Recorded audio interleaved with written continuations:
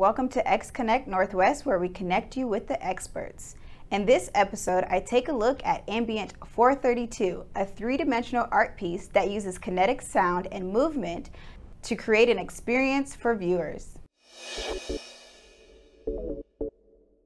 I have kind of the marvelous job of working with living artists to kind of work through a project together to bring it to fruition here. From the very beginning of building this new museum, Trimpin was in the conversation as one of the artists we knew we were going to work with.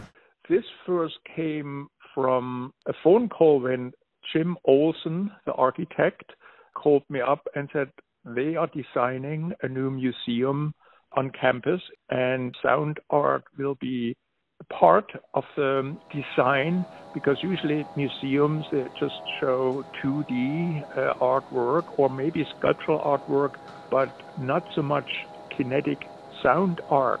So for Jim Olson, it was important to add this other aspect in the design.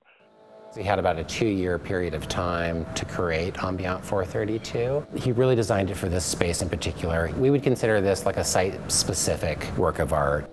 Could you tell me about the number 432 and where that comes from and its association to the collection? The number 432 was always important number, mostly in the acoustic way, going way back to different cultures the number 432 is very much connected to our own body, how we perceive, how we kind of feeling comfortable when this particular frequency approaches our body.